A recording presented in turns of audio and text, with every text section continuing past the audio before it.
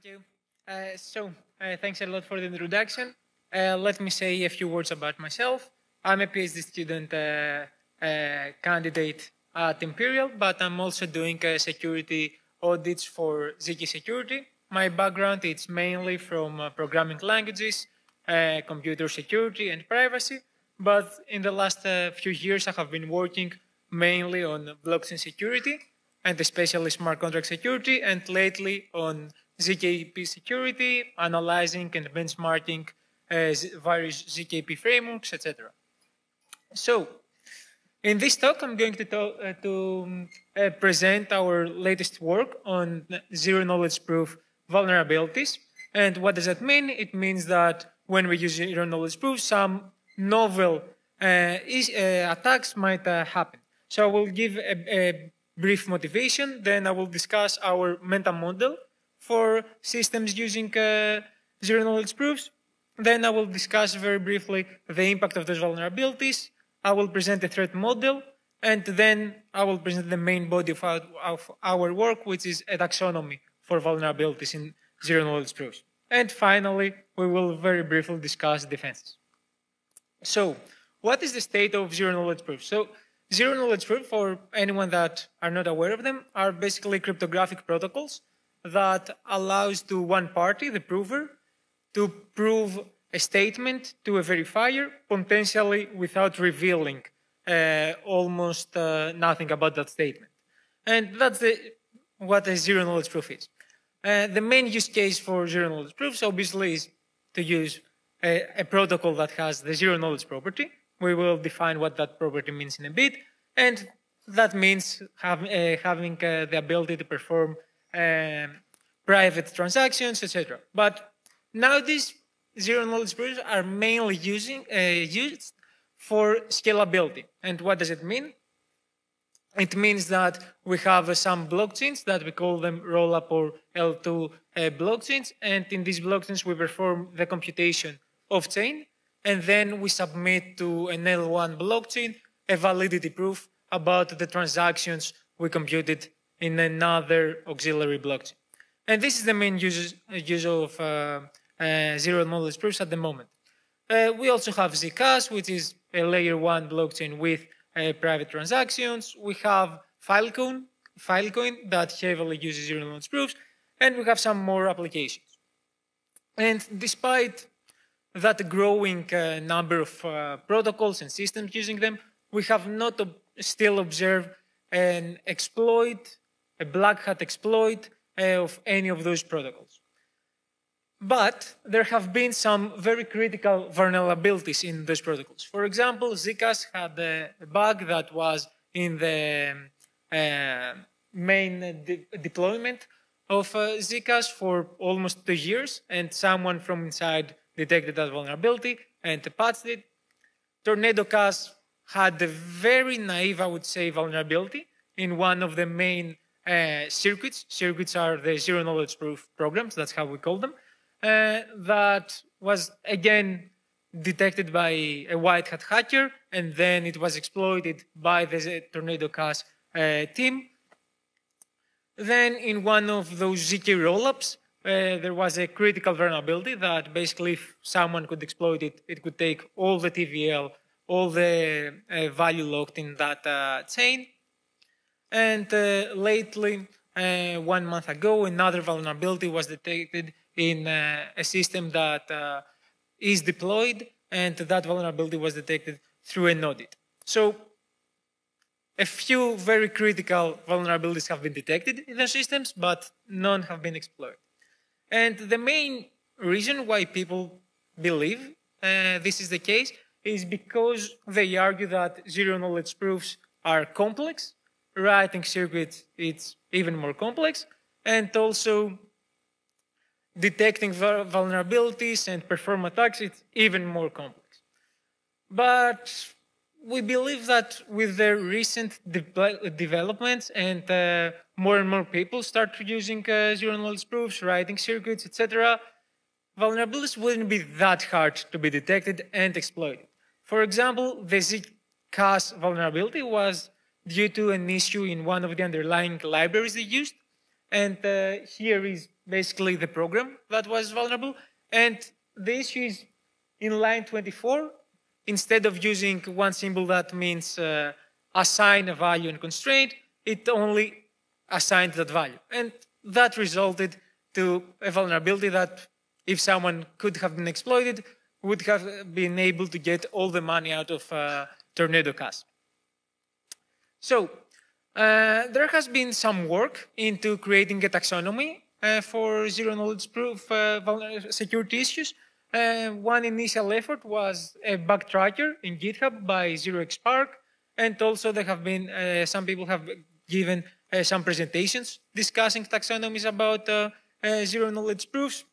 One was from 2022, another one in 2024 but there hasn't been like a systematic work into trying to better understand why we have that vulnerabilities and um, how to actually detect them. So we did that work, and uh, the first part is uh, to understand how systems using snarks and zero knowledge proofs. So snarks is basically the most common zero knowledge proofs used uh, in practice uh, uh, today. So we start with a program um, here we call it R, but it could be whatever. And that program basically describes uh, our um, uh, what we want to prove, right? The computation that we want to prove uh, to some uh, verifier. And that program takes some some inputs, some public inputs and some private inputs. Then we need to manually translate that program and write a circuit. Typically, we write circuits in domain-specific languages for snarks, some uh, examples are uh, Halo2, uh, Circom, Noir, and uh, many more. There are many, many DSLs uh, today for writing snarks.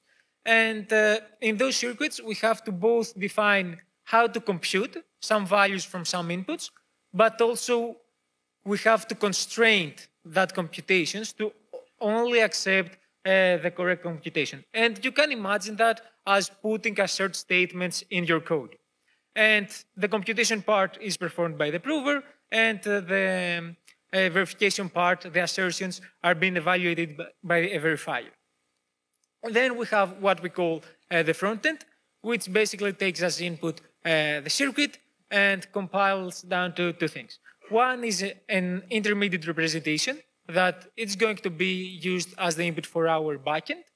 And the other one is a witness generator, which basically takes the public and the private input, runs the computational logic from the circuit, and creates a trace with all the intermediate, uh, all the intermediate values and the final outputs of the circuit. Then we have the backend. The backend is composed of uh, three functions. The setup function, it takes some common reference string. We don't care in that work about that. And uh, also it takes as input uh, the intermediate representation produced by the compiler. And then in that function, we create two keys. And that function is also called basically pre-processing. We create two keys, a prover key and a verifier key. And then we have two other functions. Prover takes as input the trace generated by the witness uh, generator and the prover key, and it creates a proof. And then the verifier takes as input only the public parts of our trace. And because of the zero knowledge property, some parts can be uh, private. And it also takes the proof and the verification key, and then it just outputs uh, true or false if the proof uh, can be verified. And finally, we have uh, the application layer, which is basically the layer where we are interacting with uh, the zero the snark. And you can imagine that layer being a smart contract that calls on-chain uh, an uh, on-chain verifier uh, to uh, see if a proof is correct or not. And uh, another example for the integration layer could be some code that uh, calls the prover, etc. Recently, there have been some uh, uh, novel uh, frameworks called ZKVMs that basically abstract away the uh, circuit part. So instead of writing zero, uh, ZKP circuits, you can just provide your program to that uh, VM and everything else will work uh, similar as before. We can also imagine and think about those layers in a hierarchy where we have uh, on the bottom level the hardware, our runtime, etc. Then we have the proof system, which is basically the technical aspect, the theory for uh, the snark and the zero knowledge proofs. On top of that, we need some very optimized field arithmetic and elliptic curve libraries. And then we have the front and the back end, the circuit, and the application.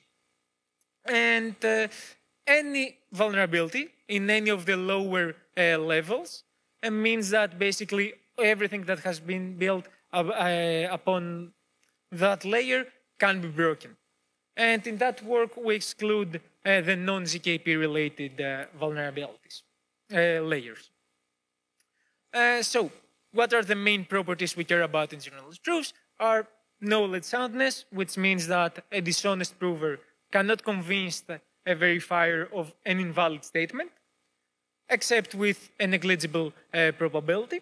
The second property is that an honest prover can always convince an honest verifier of the correctness of a valid statement. So the verifier won't accept um, valid proofs if I manage to create a valid proof.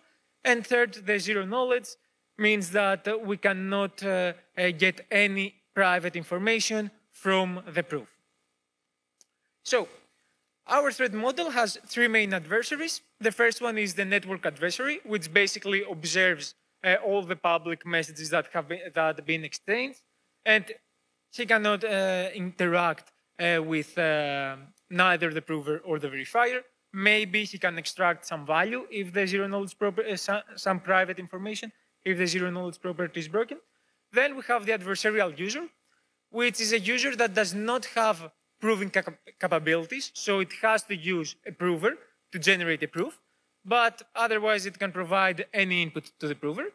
And we have the adversarial prover, which is our main threat model, which means that a prover has the ability to arbitrarily, arbitrarily produce a proof, and uh, if the verifier is buggy, then it can break the soundness of uh, our system. In our paper, we also explain a bit more about those adversarial roles and its capability uh, that uh, any adversary can have. Okay, then what can go wrong? First, we can have a vulnerability that breaks the soundness of uh, the zero knowledge proof. And what does that mean? It means that a prover can convince a verifier of a false statement. Imagine the simplest example that we have a circuit that proves that A plus B equals C. And uh, in that case, the verifier could uh, uh, the prover could convince the verifier that 1 plus 1 equals 5, which is wrong, and that means that it breaks the standards. Then we have breaking of completeness, which means that we either cannot produce a valid proof for some valid statement, or the verifier will reject some valid proofs. And finally, we can have a breaking of zero knowledge, which means that we have information leakage about the private parts of uh, the trees. So, uh, in our work, we analyzed 141 uh, vulnerabilities from either audit reports or vulnerability disclosures or from uh, bug trackers. We focused only into critical uh, security vulnerabilities. We did not consider any non-ZKP related vulnerabilities. And uh, here is a table presenting uh, the main results. so uh, we categorize the vulnerabilities based on uh, the layer and on the impact. And uh, the main um, impact is soundness bugs, which is the worst thing that can happen into an application that uses zero knowledge proofs. And also, the most vulnerabilities are in the circuit layer. That could be because most of the effort is towards the circuit layer, but also it could be uh, because of the different model that we have in the circuits. And what I mean by different model is when you write a circuit, you have to have two things in your mind. First, the computation part. And in that example, we have um, uh, two input variables, two temporary variables, and one output variable. So when you write the circuit, you have to define the computation logic, how uh, you compute temp uh, temporary variable 3, temporary variable 4, and output 5. But also, you have to constrain your computations. And uh, by constraining, I mean what should be the value of temporary variable 3, what should be the, variable, uh, the value of temporary variable 4, and what should be the uh, output uh, of the output variable. And uh, this is a bit tricky and different than normal programming. And we believe that, and from our results, um, we come to the conclusion that this is the main reason. The different mental model that uh, developers should have is the main reason why we have so many vulnerabilities in the circuit layer. You can also imagine that the computation part is what is executed by uh, the prover, and the constraints are what is checked by the verifier. So what can go wrong in the circuit layer is that we can have under-constrained vulnerabilities, we can have over-constrained vulnerabilities, and we can have computational uh, errors. Under-constraint means that somewhere we missed some constraint, so the prover can uh, produce proofs of invalid statements. Uh, over-constraint, it means that we have more constraints than those that we wanted to add, and that means that uh, there could be some uh, issues where we cannot produce proof for st some statements, and computational is more on the logic side. So we have a variety of root causes, and uh, we have some tables in the paper that describe uh, how many bugs uh, uh, has led from each root cause. But what I want to focus here is that two are the main root causes that we identified uh, in the circuit layer. First is that in some cases, as many constraints as you have in your uh, circuit, that more expensive it will be to prove your circuit, uh, given some inputs. So people are, have been trying to do various optimizations in that level, and this is one of the main reasons why we have so many bugs.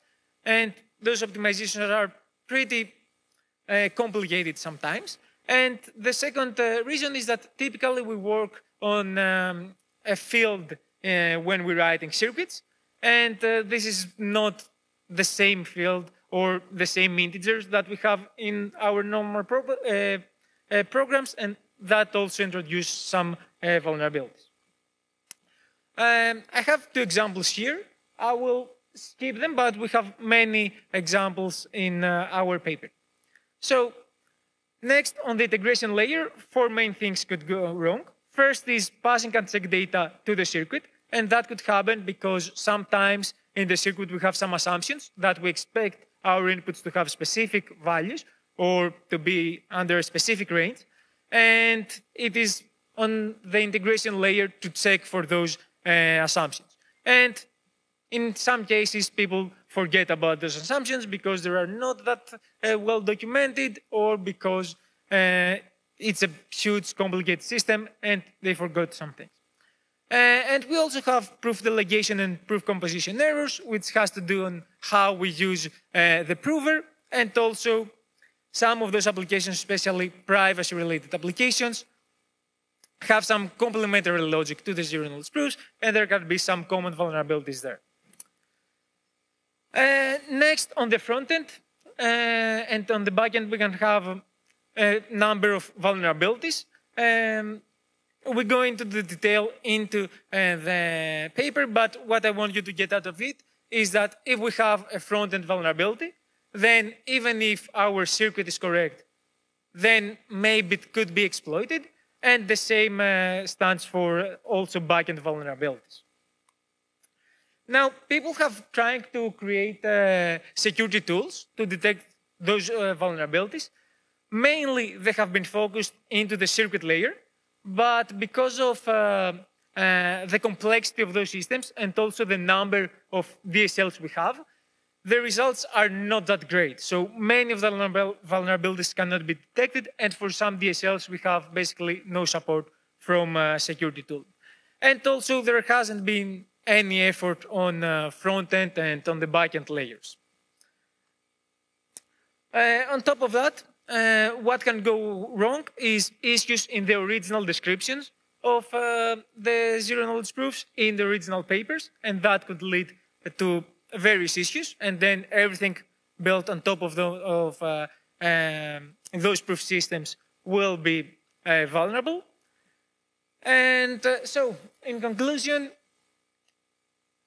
why do we have bugs in uh, zero knowledge proof uh, in systems using zero knowledge proofs? First is because zero knowledge proofs are not just math, although they are based in very nice uh, math. There could be bugs in the implementation that can break all the properties of the systems. And uh, the second one, the reason, here I have